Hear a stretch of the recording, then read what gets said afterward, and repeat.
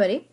In this video, Miss Adams and I Hi everyone. are going to show you how to find a model for some quadratic data, but not using the method that we showed you in the last video, which was on systems. Systems, Yeah. right.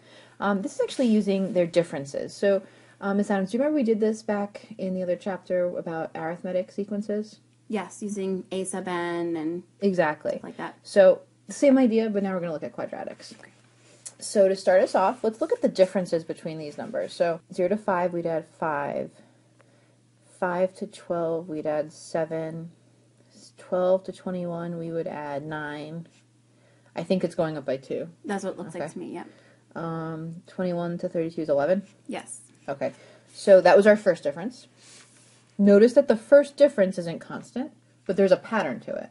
So the second difference, we add 2 to those numbers, and that is constant. So I'm just going to make a little note here. A constant second difference is a sign that the data we're looking at is quadratic. if you um, think back to the other video, you probably took the first, was it first three points? Did you use the first three We points? did. We used Okay. first three points, yep. Um, and you set up a system and you found those, the A, B, and C, um, Coefficients. thank you, of the standard form of a quadratic. So on this, I I- think it's better to look at maybe three or four of the numbers. I would agree. Okay. So I'm going to set something up here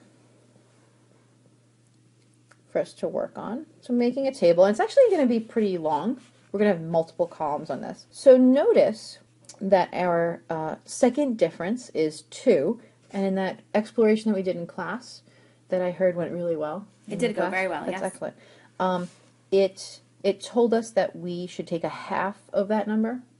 A half of our second difference. Okay. And that will give us our coefficient on n squared. Okay, so this right here means that our A value is 1. And we did that exploration, Yes. so we can go back to that to look why that is.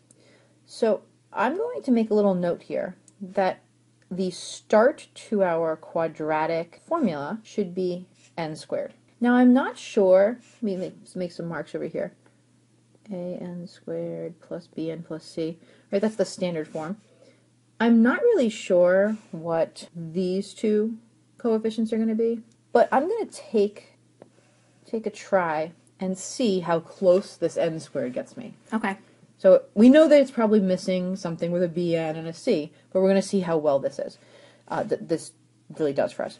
So notice that we have 0, 5, 12, 21, 32. So we have five numbers. You don't have to do this, but typically we'll do this. We will call this term, whatever the starting term is, the first term. Typically. Right. Right? So I'm going to say that it has n equal 1 to be the first term. That the 5 has n equaling 2, 3, 4, 5, and so on. And if I were to try the n squared, okay, as the entire formula, what would I get? That's, that's basically what I'm doing right now. So if I plug in 1, I'd get 1. If I plugged in 2, I get 4, 3 gets me 9, and 4 gets me 16. So what do you think? How, how close did I get to, to these actual numbers in the, in the sequence? So when n is 1, n squared's 1. And I'm comparing that 1 to 0. This one here Yep. To with 0. this 0. Good. So then I'm comparing the 4 to 5. Exactly. And I'm comparing the 9 to 12 and the 16 to 21. Exactly. So how, how could I go from 1 to 5?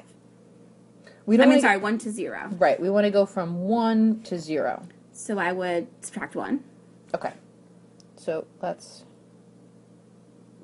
let's say that now this 1 minus 1 would get us to 0. Exactly. Okay. How about with the 4? So if I wanted to go from 4 to 5, From 4 to 5. I would have to add 1. Yep. If I wanted to go from 9 to 12, I'd have to add 3. Okay. And from 16 to 21, I'd have to add 5. Now it's too bad it's not off by the same number because then we would just say, oh, we'll add that to our formula, we'll be done. So I'm going to call this the off by column just because I don't have anything better to call it. that's basically saying what these numbers in this column are off by. We really wish we were getting these numbers. We're getting these numbers. This is what we're going to have to do to change them. Do you notice anything about that column? Looks like there's a pattern in that column. And what pattern is that? That's plus two. As I'm going down that column, that's plus two. Good. So it's nice to see a pattern even though those were not the same number. So do you remember from that um, the first chapter we did with arithmetic sequences? If we find a constant difference like that, that really means we have a linear equation, Right. which is really useful because didn't we just say we're not sure what this this part of the formula is going to be? So I think this is going to help us. So notice that this is our first difference, right? And it's constant. So that's really our slope. So I'm going to say that our b value is 2. Let's see how well that helps out. Okay. So now let's try our new formula. We still have our n squared, but let's add 2n to that and see what happens. How's this sound so far? Sounds good. Okay. So can you help me out, out with that? What do we get? Uh, So again, I'm looking at n being 1. Yep. So now I have 1 squared plus 2 times 1. Okay. So that's 3. That's 3. Then I have 2 squared plus 2 times 2. That's 8. 3 squared plus 2 times 3. This gives me 15. Mhm. And 4 squared plus 2 times 4, which gives me 24. Good. So now we want to kind of regroup. Let's take a look again at these numbers and how closely they relate to the, the numbers we want to have. And sometimes it might look worse, to be honest. It might actually look worse. So notice that before, like on, on 1 here, we, we substituted 1 in for n, we got 1. We were actually off by negative 1. Now what are we off by? So now, now I'm going to compare the 3 to the 0, and I'm off by minus 3. So that doesn't that sound worse?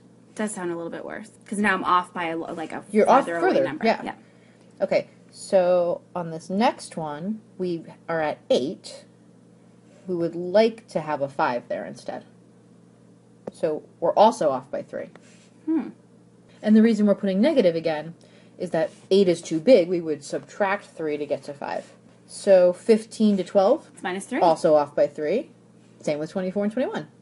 So what do you notice there? So all I'm noticing is that my my quadratic looks like it's going to be n squared plus 2n and then minus 3. Yeah, exactly. So if we hadn't have gotten a constant in that column, I would be worried. I'd be worried too. Okay, so notice that in our third column, right, this column right here, we actually could have figured out that the c, or the, the constant value, is negative 3. So I'm going to write down, using that column, the arithmetic explicit formula. So where do you think I got that negative 1 from? Well, our, in that column, the first the first number there is negative 1. That's where you're starting the at. first number, right?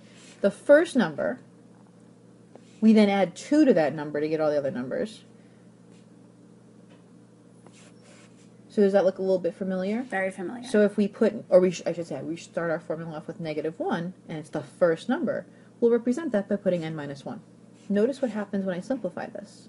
So we get negative 1 plus 2n minus 2. That simplifies to 2n minus 3. 2n minus 3. So my formula for this now is going to be a sub n equals n squared plus 2n minus 3. And actually, if I could fit it here, I would show you that we could actually like make a column for that. We could substitute in 1. Actually, we could do it right now really quick. Good. So if I substitute any of these n values, so let's try 1. If I substitute 1 in here, we get 1 squared is 1, 1, plus 2 times 1 is 2. Two. We're up to 3. Yep. Minus 3 would get you 0. 0. Right, so we could do a whole column showing that. Just to make sure we were right. yep. So does that sound good? Sounds great. All right, are you ready to try one? I want to try one. Okay. The first thing I have to do is prove that this is quadratic. So let me start by finding my differences. So this is plus 0, this is plus 6, plus 12, plus 18. So it looks to me like my second difference is constant because it's plus 6. Uh oh. What does that mean? This means I know it's quadratic. Wait, but six isn't two. Didn't we get two on the last one? Wait, So what does the six mean? Oh, well, the 6 means that my a value is going to be half of that. So this tells me that my a value is going to be 3. Oh, nice. Okay. Yeah, so this is actually great. So now I'm going to make my columns here. And now, instead of checking n squared like before, I'm going to check 3n squared. So this is going to be 1, 2, 3, 4. So if n is 1, We would get three. I would get for three. n squared. Yep. 1 squared is 1 times 3 is 3. n is 2. 2 squared is 4 times 3 is 12. 3 squared is 9 times 3 is 27. 4 squared is 16 times 3 is 48. So I want to know how far off is this column from my original numbers. Hmm. So I'm going to make my off by column.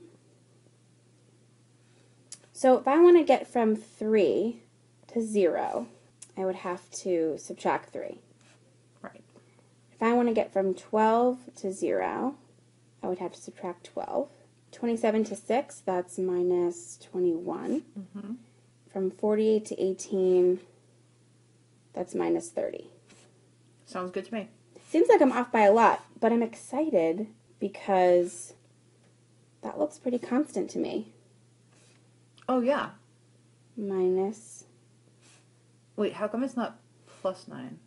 Well, I'm going from negative 3 to negative 12, right? So I'm going more negative. Oh, we're going down. We're going Okay. down. So that's minus, and that's minus. So now I've, I've just figured out, Mrs. Strader, that this is linear Oh, because the first difference is constant. because all these differences are negative 9. I'm going to take that shortcut, I think. You like that one? Yeah, I like that. Plus, I'm kind of running out of space over there.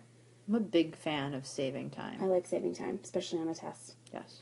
So I can rewrite this column like a linear, Like the arithmetic. yeah, arithmetic explicit formula. Yeah. So that's going to be my first term's negative 3, and I'm subtracting 9 every time, and z minus 1. So if I simplify that, that gives me, let's see, I'm going to write it right here. Negative 3 minus 9n plus 9, which simplifies to negative 9n plus 6.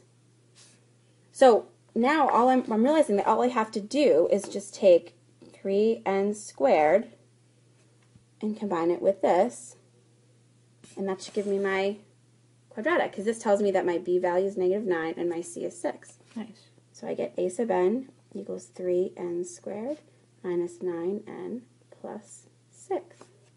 Excellent. I was also wondering if we could go backwards. Would that help us? So, like, see how our pattern here started at zero zero. Mm-hmm. Would we would we be able to go backwards? Oh, like find the number that came before this. yeah. We know that this had to be plus 6, right? Because this one's constant down here. Maybe I should change colors.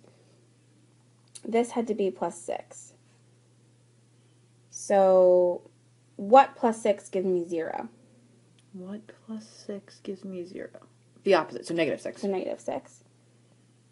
So then you you're So- asking what What minus 6 gets me to zero? gets me to 0? Six. 6. Oh, and doesn't that give me my constant? Because this is technically a sub 0. Because this was a sub 1, and this was a sub 2, and this was a sub 3. So okay, so you're saying that means that the that I'm right. the plus six at the end of our our formula came from there. Yeah, Nice. Looks good to me. looks good to me. Awesome. All right, good luck, everybody.